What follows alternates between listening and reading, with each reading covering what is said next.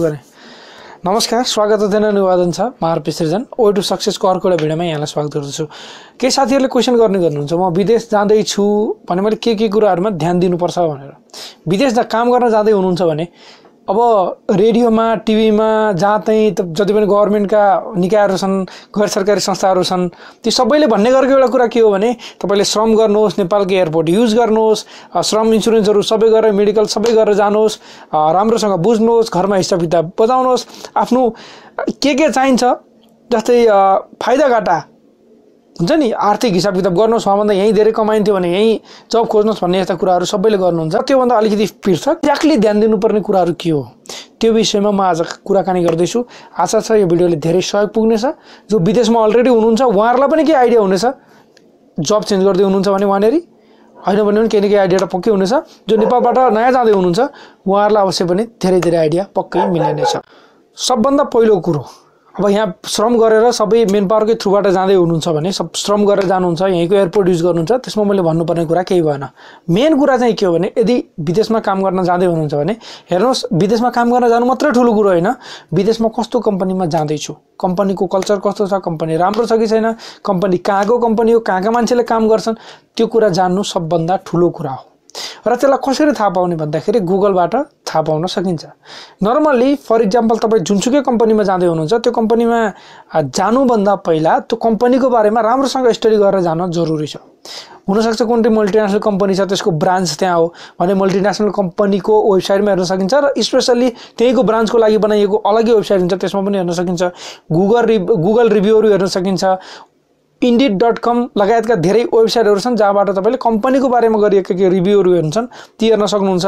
होइन भने फेसबुकमा अथवा लिङ्किनमा त्यही काम गर्ने साथीहरू हुनुहुन्छ।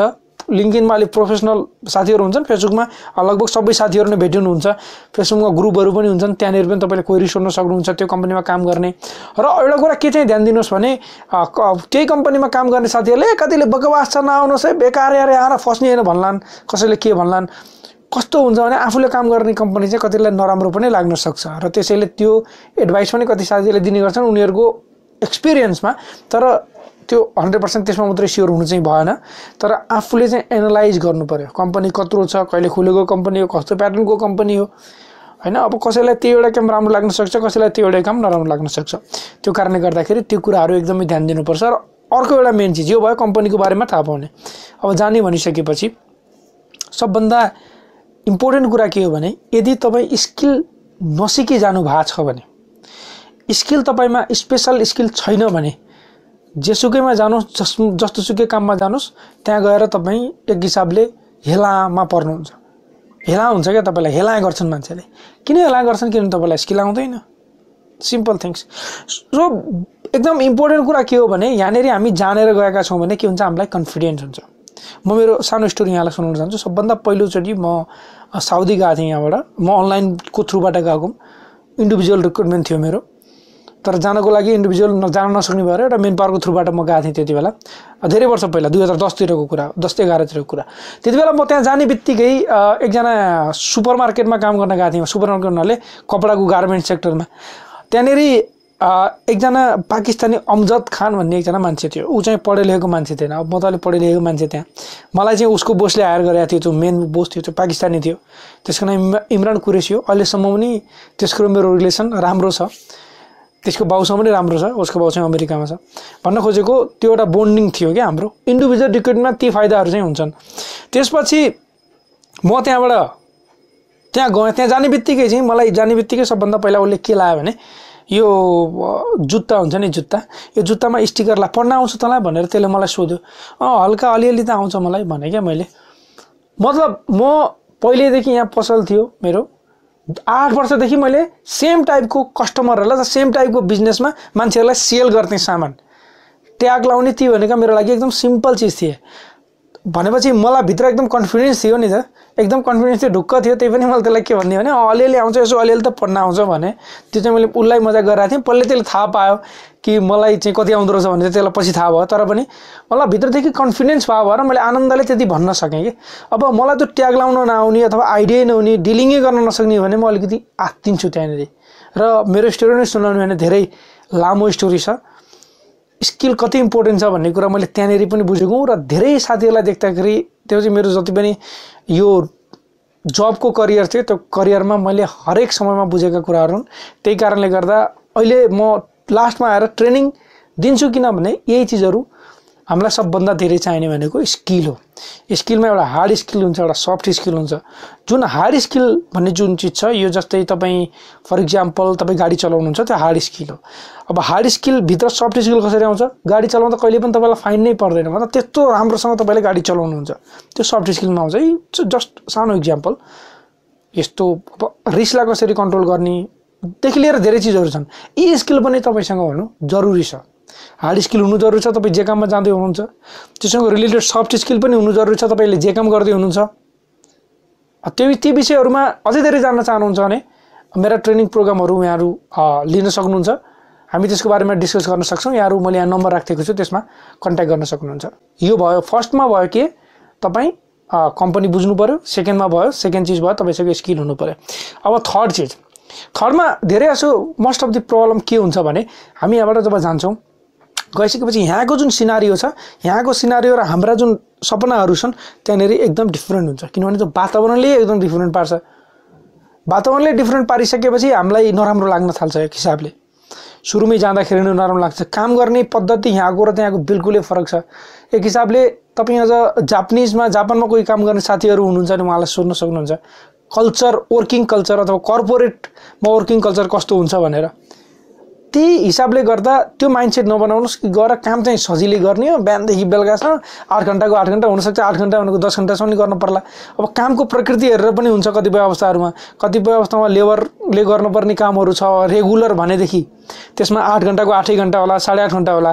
होइन कसै सेल्सका कामहरू छन् होइन क्यासियरका कामहरू छन्। भने ती कामहरूमा चाहिँ धेरै समय पनि लाग्न सक्छ। त्यसैले ती चिजहरूमा माइन्ड मेन्टली प्रिपेयर हुनुको लागि मलाई आठ घन्टा भनेको छ म आठै घन्टा गर्न सक्छु भन्ने चाहिँ हुँदैन। सुपर मार्केटहरूमा अलग्गै हुन्छ तपाईँको अरू अरू कम्पनीहरूमा अलग्गै हुन्छ कन्स्ट्रक्सनमा अलग्गै हुन्छ क्लिनिङमा अलग्गै हुन्छ सेक्युरिटीमा अलग्गै हुन्छ यो धेरै ठुलो पार्ट छ। ती पार्टहरूमा हामी कुनै बेला डिस्कसमा जाउँला कुनै बेला कुरा गरौँला। र त्योभन्दा बाहेक यहाँनिर माइन्ड सेटअप के बनाउनुहोस् भने मैले जति दुःख परे नि गर्न सक्छु। र मलाई यति नै गर्नुपर्छ भन्ने छैन। म मेहनत चाहिँ गर्न सक्छु भन्ने एउटा आँट चाहिँ आफूभित्र हुनु पऱ्यो जसले गर्दाखेरि धेरै दुःख पाए यतिसम्म पाउँछु होला भन्ने तपाईँ सोच्नुहुन्छ नि तपाईँले। दुःख पाए यतिसम्म पाइएला भन्ने पाइयो भने त्यहाँ गएपछि त्यति दुःख नपाउँदाखेरि आफूलाई अलिकति राम्रो लाग्छ। यो भयो सेकेन्ड थर्ड चिज। अब फोर्थ चिज फाइनेन्सियल कुरा आउँछ जस्तै यहाँनिर एउटा स्यालेरी भनेको हुन्छ। स्यालेरी फर इक्जाम्पल दुई हजार दिराम।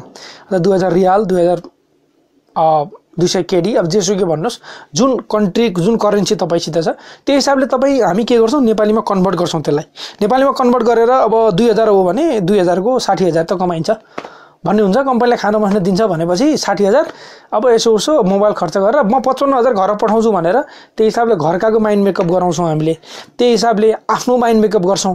तर सिनारियो एक्ज्याक्टली सिनारियो के हुन्छ भने त्यहाँ पुगिसकेपछि कम्पनीले खान देला बस्न देला तर कहिलेकाहीँ चिया पिउनु पर्ला कहिलेकाहीँ साथीसँग घुम्न जानु पर्ला हुनसक्छ कम्पनीले कहिलेकाहीँ अलिकति स्यालेरी ढिला गरिदेला जे पनि हुनसक्छ धेरै रिजनहरूको कारणले गर्दा एक्ज्याक्टली दुई हजार तपाईँको पकेटमा नहुनसक्छ। अब कहिलेकाहीँ सुरुमै जाँदाको एक दुई महिनामा युएमए हो भने इमिरेट्स आइडीको पनि काटिदिन्छ कम्पनीले। अब अरू काममा जाँदै हुनुहुन्छ कहिलेकाहीँ केही फाइन लाग्ला। जसको कारणले गर्दाखेरि हामीले एक्ज्याक्टली जुन हाम्रो माइन्ड मेकअप थियो दुई हजारको जुन एउटा हाम्रो एउटा सोच थियो त्यो सोच अनुसार हाम्रो नहुनसक्छ जसको कारणले गर्दा हामी फ्रस्ट्रेट हुन सक्छौँ पाएको त छ दुई हजार तर बस्दैन। अब घरकाले त पचपन्न हजार त पठाउँछु भन्थ्यो केटाले छोराले बुढाले दाइले जोसुकै होस् पठाउँछु भन्थ्यो। पठाएन। अब त त्यही हिसाबले लोन लिएको छ भने ब्याङ्कलाई अथवा साउलाई त्यही हिसाबले कमिटमेन्ट गराए हुनसक्छ घरमा। नहुनसक्छ। त्यो कारणले गर्दा फेरि अलिकति नराम्रो लाग्न सक्छ अलिकति फ्रस्ट्रेट हुन सकिन्छ। त्यो कारणले त्यो सिचुएसनहरूमा पनि दुई हजार भनेको छ भने आधा आधा गर्नुहोस् कि। हजारै भने चाहिँ पाँच सयसम्म चाहिँ बचाउन सक्छु होला भनेर। तर भन्नलाई त्यो है माइन्ड मेकअप गर्नलाई। फेरि बचाउन सक्छु होला भनेर पाँच सय मात्रै बचाएर अरू खर्च गर्ने चाहिँ नि होइन नि त। त्यो त बुझ्नु पऱ्यो यो भयो कतै चौथो कुरा। मेन कुरा यिनै हुन्। त्यहाँ गइसकेपछि के गर्ने हेर्नुहोस् एकदम ठुला चिजहरू छन्। त्यहाँ गएपछि कसरी प्रोग्रेस गर्न सकिन्छ। त्यहाँ गएपछि सानो लेभलमा गएर ठुलो लेभलमा कसरी पुग्ने। ती विषयहरूमा चाहिँ मैले खास मेरो ट्रेनिङै त्यही हुने गर्छ। वैदेशिक रोजगारीमा जाने साथीहरूको लागि चाहिँ। किनभने हामीले धेरै गर्न सक्छौँ। हेर्नुहोस् त्यही भएर मैले खाडी भर्सेस युरोपको तपाईँले युरोज भर्सेस खाडी यो भिडियो हेर्नु भएको छैन भने हेर्न सक्नुहुन्छ डिस्क्रिप्सनमा राखिदिने छु। आई बटनमा पनि छ। त्यो भिडियोमा मैले केलाई फोकस गरेको छु भने हामी युरोपभन्दा खाडीमा हामी गएकालाई देशको लागि फाइदा छ भन्ने हिसाबले जुन एउटा फोकस गरेको छु। किन भनेको छु भने एउटा रिजन छ। त्यो रिजन के हो भने खाडीमा हाम्रो पोटेन्सियल धेरै छ हेर्नुहोस्। खाडीमा हामी कोसित काम गर्छौँ? इन्डियनसित काम गर्छौँ। खाडीमा हामी पाकिस्तानीसित काम गर्छौँ बङ्गलादेशीसित काम गर्छौँ अथवा नेपालीसित काम गर्छौँ र हाम्रो जुन एउटा कल्चर छ त्यो कल्चर सेम सेम छ। हामी जुन कल्चरमा हुर्केका छौँ हाम्रो जुन अपब्रिङिङ छ तलैदेखिको त्यो सबैको सेम सेम छ। त्यसमा हाम्रो केही एक्स्ट्रा भ्यालु हुन सक्यो भने हामी अलिकति त्योभन्दा एक्स्ट्रा पोटेन्सियल हामीमा छ हामी अलिकति ट्यालेन्ट हुन सक्यौँ भने हामी अगाडि जान सक्छौँ। त्यो एउटा एकदमै ठुलो अपर्च्युनिटी हुन्छ। त्यो कारणले गर्दा मेन मेन मेन कुरो चाहिँ स्किल डेभलप गर्नु सबैभन्दा ठुलो कुरा हो। स्किल धेरै टाइपका हुन्छन् एउटा मात्र स्किल हुँदैन। स्किल धेरै टाइपका छन्। त्यो कारणले गर्दा जहिलेसुकै सिक्नेतिर चाहिँ ध्यान लानुपर्छ यहाँ भए पनि विदेशमा भए पनि जुनसुकै ठाउँमा भए पनि। नेपालबाट विदेशमा जाने बित्तिकै अब दुई वर्षमा फर्किने मैले के जान्छु भने दुई वर्षमा फर्किँदाखेरि नेपालमा गएर के गर्न सक्छु भन्ने सोच बनाएर आउनु पऱ्यो। केही नभए पनि एउटा के हुन्छ भने विदेशबाट नेपाल आउने बेलामा मेहनत चाहिँ गर्नुपर्ने रहेछ विदेशमा भन्ने हुन्छ नि। त्यति मेहनत मान्छेले यहाँ गर्न सक्छ। त्यो कुरो भयो भने त बुझ्नु त पऱ्यो। त्यसैले उहाँको जुन क्वेसन थियो एउटा सानो क्वेरी त्यसको अलिकति एन्सर दिने मैले कोसिस गरेँ। आशा छ धेरै साथीहरूलाई अहिले केही सहयोग पुग्यो होला। यतिमा सकिँदैन। यस्तो कुरा गर्न थाल्यो भने म पुरै एक महिनासम्म डेली गरा गरे पनि गर्न सक्छु। त्यति एक्सपिरियन्सहरू छन् त्यति आइडियाहरू छन् त्यति चिजहरू छन्। जुन चिजहरू म मैले देखेका मैले भोगेका मैले अरू साथीहरूबाट सिकेका अरू साथीहरूसँग इन्टरभ्यू लिएका त्यस्ता धेरै चिजहरू छन्। यहाँहरू च्यानललाई फलो गर्दै गर्नु अहिलेसम्म सब्सक्राइब गरिदिनु भएको छ। थ्याङ्क यू भेरी मच भिडियोहरू आउनुहुन्छ हेर्नुहुन्छ त्यसको लागि यहाँलाई धेरै धेरै धन्यवाद छ। अहिलेसम्म पनि सब्सक्राइब गर्नुभएको छैन भने एकचोटि गरिदिनु होला। गर्नुभयो भने नयाँ नयाँ अपडेटहरू नयाँ नयाँ भिडियोहरू अवश्य पनि पाउनुहुनेछ। हस् त आजको लागि यो आरपी सिटिजन यहीँ बिदा हुन्छ। योभन्दा पहिला एक्चुली भन्न चाहन्छु विदेशमा कमाएको पैसा सेभिङ गर्नु पनि जरुरी छ र इन्सुरेन्स सेभिङ गर्नको लागि एउटा बेस्ट चिज हो बेस्ट ठाउँ हो। त्यसैले फेरि एकचोटि पनि भन्छु यहाँहरू इन्सुरेन्समा सेभिङ गर्न चाहनुहुन्छ आफ्नो पैसा भनेदेखि चाहिँ यो नम्बरमा सम्पर्क गर्न सक्नुहुनेछ। अहिलेको लागि म आरपिसीलाई आगे दिनुहोस्। यहाँहरूको समय शुभ रहोस्